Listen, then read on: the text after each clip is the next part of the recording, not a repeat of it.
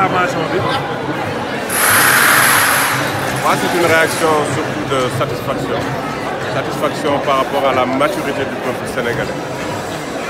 Euh, le peuple sénégalais est un peuple très mature, un peuple qui a su, quand il le fallait, bien entendu, euh, aller aux élections, aller voter et après le vote, bien entendu, attendre les résultats. Et ces résultats ont plébiscité euh, le président Macky Sall qui a eu 1 600 000 voix de plus que le second.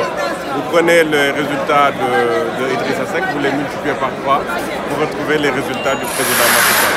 Et ça, c'est la première fois qu'on retrouve ça au Sénégal.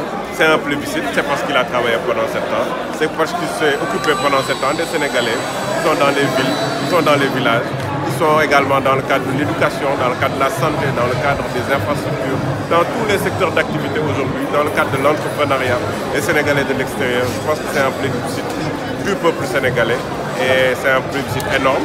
Maintenant, c'est un sacerdoce.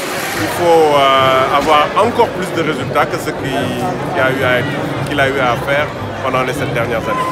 Merci. Ok, merci.